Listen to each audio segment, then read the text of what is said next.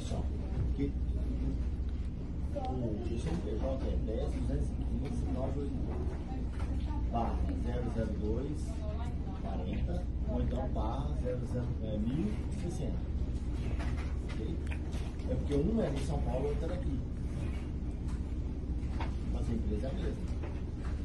Quando trocou, trocou só razão social, aí tem que a documentação lá, contrato social,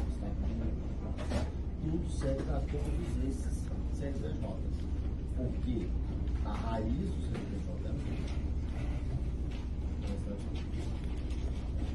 A raiz pode observar que todo o CNPJ da Companhia de Locação das Américas é 10, 215, 9, 988. E aí depois muda é o final. 0008, 36, 007, 002, 40. Aí o que muda é, é o final.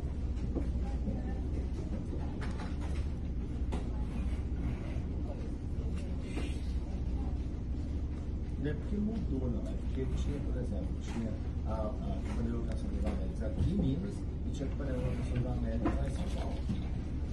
Então,